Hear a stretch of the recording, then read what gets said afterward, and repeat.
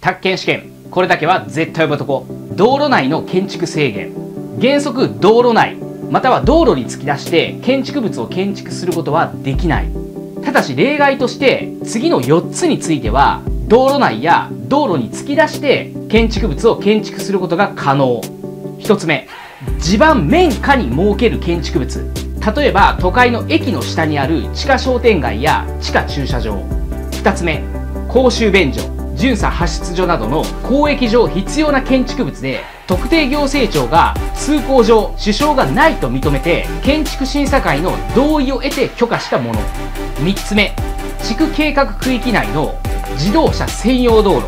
または特定高架道路などの上空または路面下。例えばトンネルの上にある建物や高架下にある飲み屋街など。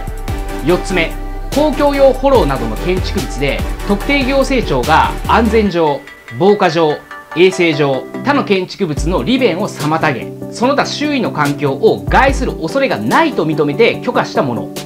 例えば商店街のアーケードや歩道橋などこれらは道路内または道路に突き出して建築することができるので注意しましょう。